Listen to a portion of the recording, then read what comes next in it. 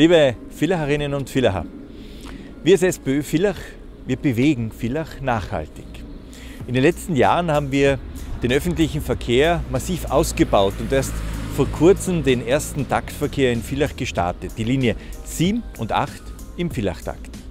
Und schon jetzt profitieren die Bewohnerinnen und Bewohner unserer Stadt von dem Ausbau des Radwegenetzes auf über 125 Kilometer, Möglichkeiten des Car- und des Scooter-Sharings, einer neuen S-Bahn-Station im äh, Bereich Landskron und natürlich auch vom E-Citybus, der kostenlos und vor allem umweltfreundlich durch die Villacher Innenstadt fährt. Und noch vieles, vieles mehr haben wir nachhaltig in Villach bewegt. Sie sehen also, wir schaffen umweltfreundliche Mobilität für jeden Bedarf und um zukünftige Entwicklungen immer vorne mit dabei zu sein, stellen wir die Weichen für die Erweiterung des Taktverkehrs auf alle Buslinien bis zum Jahr 2025, den Ausbau der S-Bahn-Verbindungen zum Technologiepark zum Beispiel oder auch nach Volanik, Entsiegelung, damit aus Beton wieder grün wird unter dem Stichwort Grün statt Grau